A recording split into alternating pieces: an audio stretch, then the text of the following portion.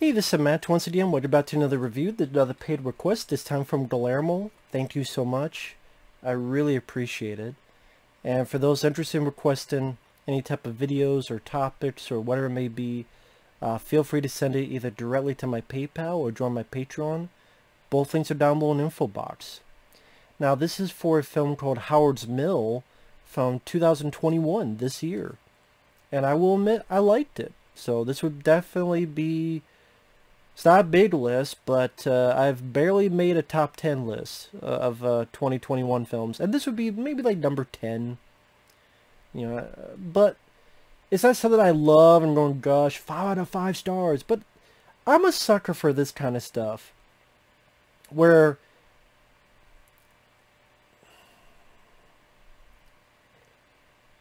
How do I do it? Well, listen.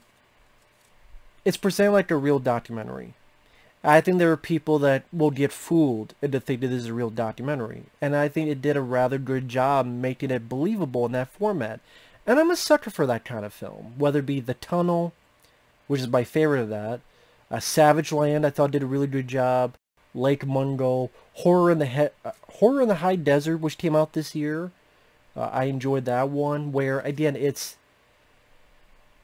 it's technically a it's kind of put in a found footage format, but it's more like a fake documentary. It's kind of its own genre now, in a way, where it's not ending where everybody dies and, you know, either there's people being interviewed and it, it's made to look like a real, like, documentary, like a program you would see back in the days of unsolved mysteries, that type of thing. In this case, it's it's done in those in that way of there's this mystery happening, and in a way, for me, it's the best of both worlds because if you watch something like that on ABC, NBC, where they talk about this mystery and what's going on here, I say it's the best of both worlds because you could be intrigued by the mystery, but in the back of your head, you know that no one really got harmed. Because a lot of those real life mysteries can be very intriguing, but in the back of your head, it's like, yeah, but someone still has disappeared or gone or dead. And I almost feel bad for being intrigued by it, but at the same time, you know, it's natural human behavior being intrigued by something we don't know and want to solve either ourselves or want to know the answers to.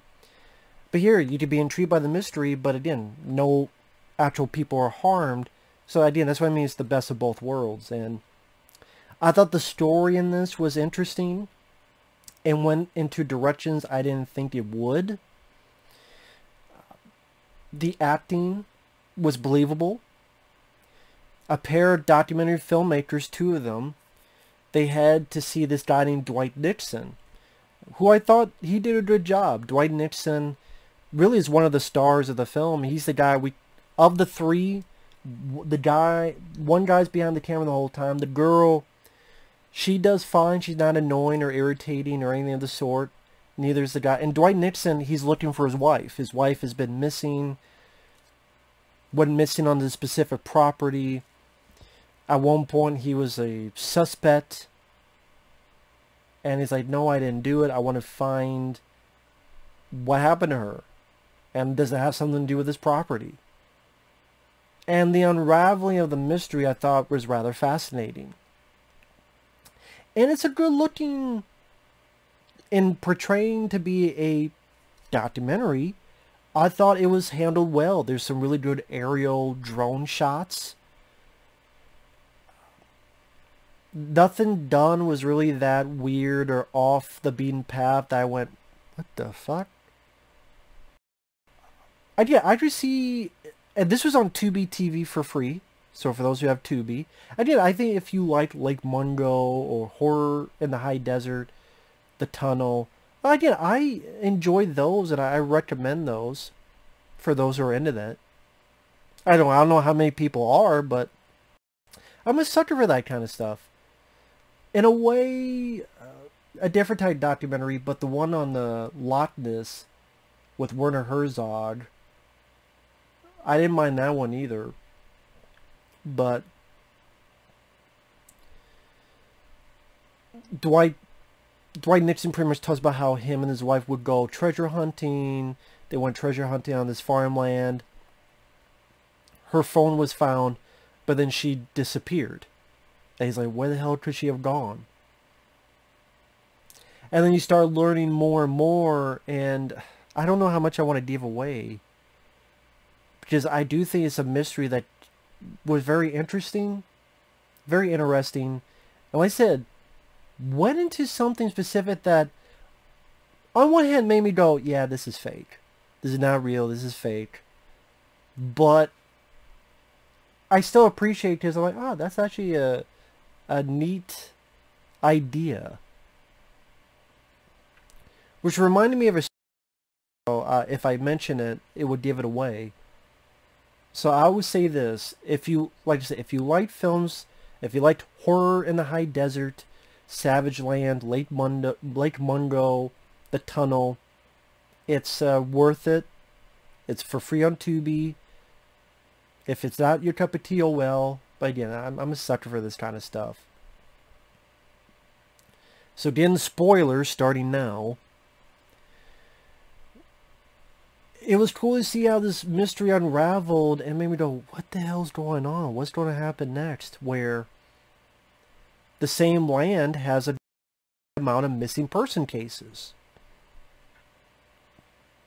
In 1994, this little girl went missing. Uh,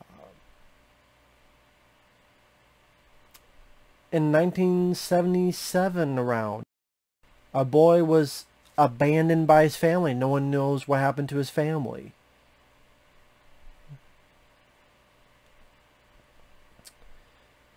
the girl, the father of the little girl that went missing in 1994, around 2004, he went back, and in the same spot she went missing, there was a pond there.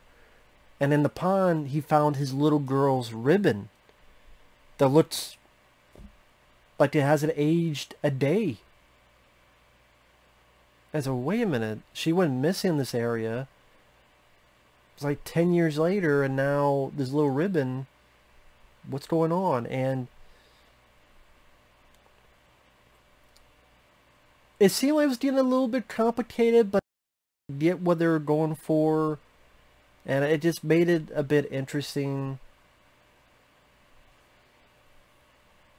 Um, it does leave a couple things in the air by the end, I just kind of like a real documentary that would happen as well.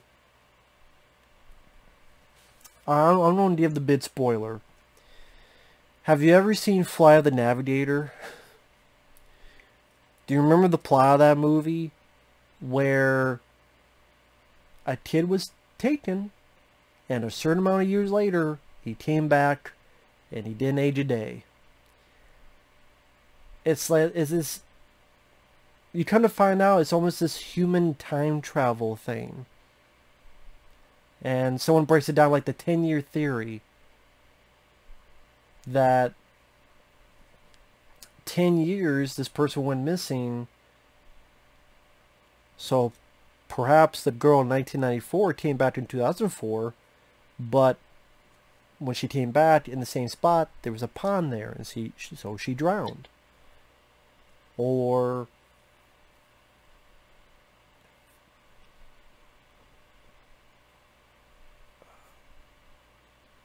this one girl who disappeared and then 10 years later, she was brought back, but it seemed like she didn't age a day.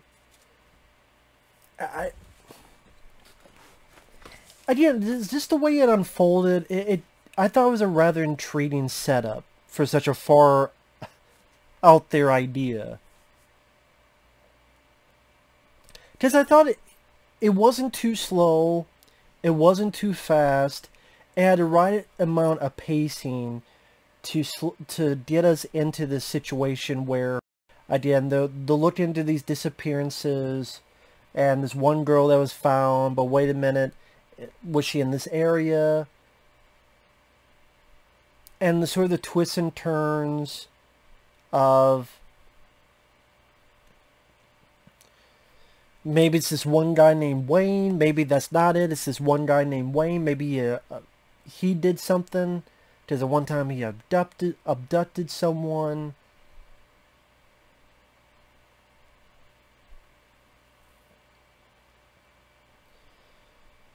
This one girl that came back. Is she this person's daughter? Actually, she no, she's this other person's daughter.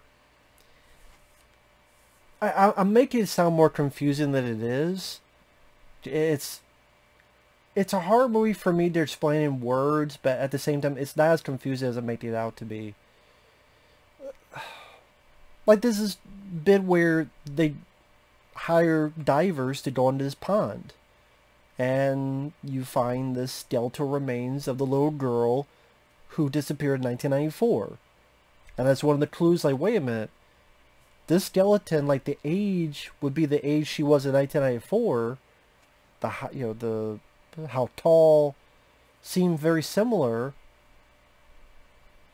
But then, you know, she wasn't here in 95, 96, 97. And then this pond came in later. Like, what?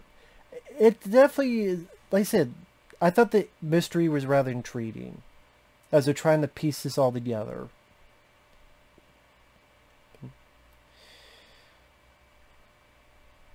And this is going to sound more confusing, so bear with me.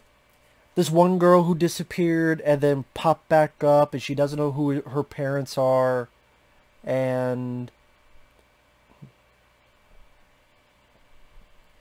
her name is, uh, I think, Glynis. She popped back up. She doesn't know who her parents are. It seems like these other people be their parents. Because she goes to a place, it's like, I kind of recognize that, but I don't recognize this and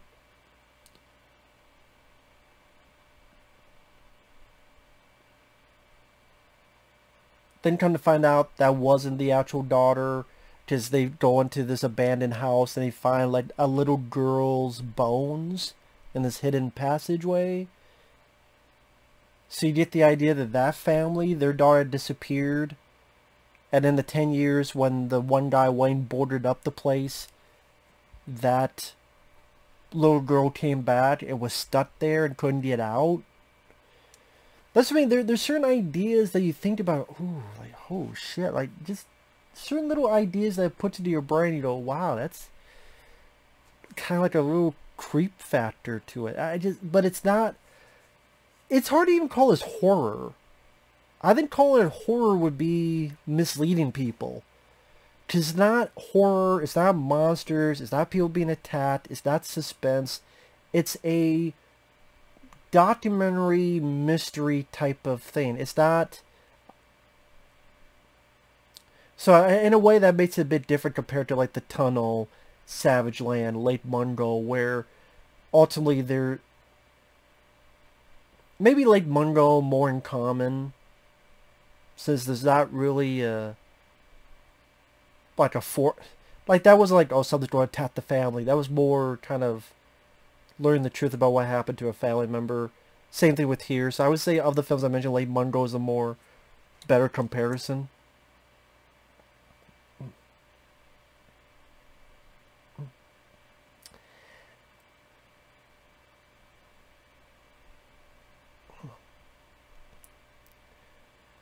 And like I said, by the end of it, this idea, the idea throw, uh, being floated around that maybe it's this 10 year theory thing and that this land is cursed in a way. But then it leaves questions. Dwight Nixon's wife, Eddie even says, well, if I don't find her, I know I'll be here 10 years later. Just in case. But yeah, the little girl dead body that they found in the house, not the one found in the water, but the one found in the house, that's the real Glennis. uh, I think Howard. And said, well, what about this other Glennis? Well, where did she come from? Like the, the older lady they talked to who was found as a kid. What's really happened with her and her actual parents? Or the one guy from 1977, the boy that was abandoned by his family. What happened to them? In 1987, would they, And they do bring this up. Like, wait a minute, what in 1987 this boy's parents come back? Uh, I think the guy's name was Daniel Lopez. I think it's also to make you go, if you don't want to buy into the human time travel theory, maybe there's other elements, but I wouldn't even know really what ele other elements it would be, because it seems like within the story, that in a weird way, that's the more sensible answer compared to, like, what else could it be?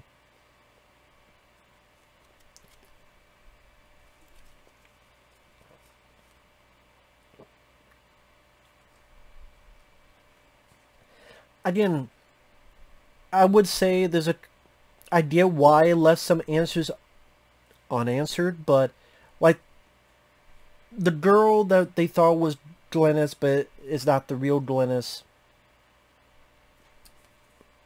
In this case, Glennis Williams. What's more about her story? Like, where did she actually come from? She was found as a little girl. Which family did she actually belong to? Because she, and I guess the Wayne guy, who for a bit they thought he was kidnapping people, and actually by the end he's in jail.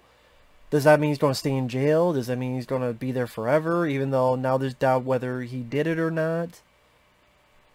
Um, did they technically help put an innocent guy in jail by delving into this mystery? Uh, idea why but I, I think there's a few more answers they could have because I think that it is a movie. It is a movie. I think there's still a few answers they could have answered, to be fair. But, uh...